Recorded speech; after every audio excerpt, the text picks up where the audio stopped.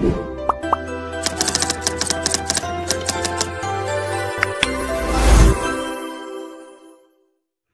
tenda-tenda di Arafah. Ini AC-nya baru semua, besar besar blowernya. Ini mesin AC-nya baru semua.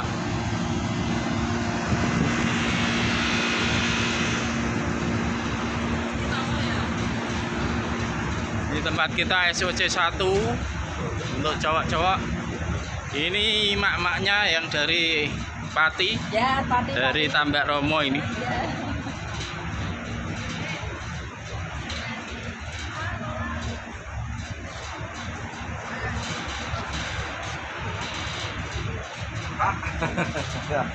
Iya, ini Pak Aslam ini.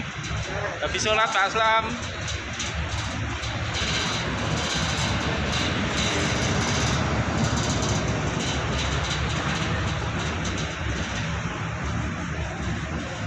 Ini tenda untuk SOC 1 untuk laki-laki.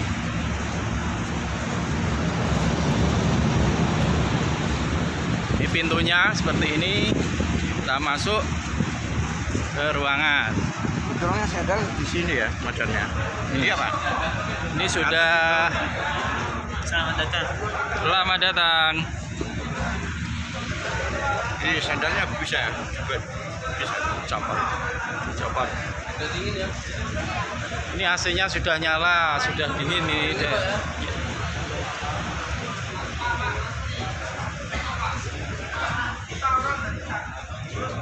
Ini belum empati. Ya, beginilah suasana di tenda Arafah. Ini sudah pakai kasur busa semua, ada selimutnya, ada bantalnya. Komplit, ada selimutnya. Balon tidak bisa kenton.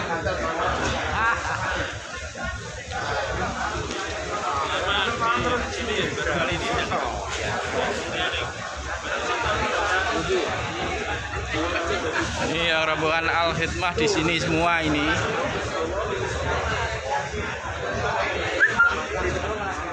Assalamualaikum warahmatullahi wabarakatuh. Eh, saya melaporkan dari tenda Arafah nomor 29. Saat ini kami berada di tenda Arafah nomor 29 SOC 1 Solo. Ini jamaah haji putra SOC 1 berada di tenda Arafah dengan fasilitas yang luar biasa yang diberikan oleh pemerintah kepada seluruh jamaah untuk menjadi lebih nyamannya jamaah di dalam melaksanakan ibadah haji. Eh, kita lihat ada paketan ini ya.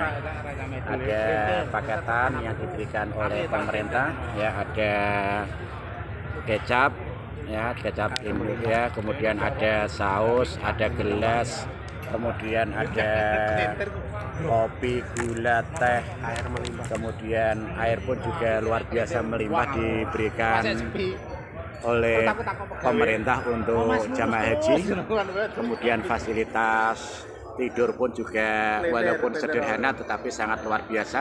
Masing-masing jamaah diberikan satu kasur kemudian satu selimut dan satu bantal juga tidak kalah pentingnya fasilitas musola. Ini ada di samping ya di samping eh, kiri. Kemudian ada urinoir ada tempat wudhu dan fasilitas-fasilitas yang lain.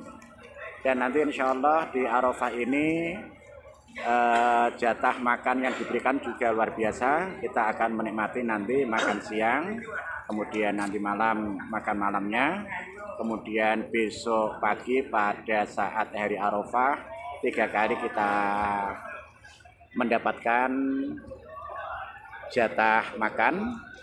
Kemudian selepas sholat maghrib jamaah takdim besok malam kita akan didorong diberangkatkan ke Musdalifah Jadi sekali lagi terima kasih kepada pemerintah yang benar-benar memerhatikan Duyufur Rahman memberikan fasilitas yang sangat-sangat keren, sangat luar biasa untuk jamaah haji. Mudah-mudahan bisa menambah rasa syukur dan bisa menjadikan kemakmuran jamaah haji tahun 1443 Hijriah tahun 2022 Masehi. Demikian saya melaporkan dari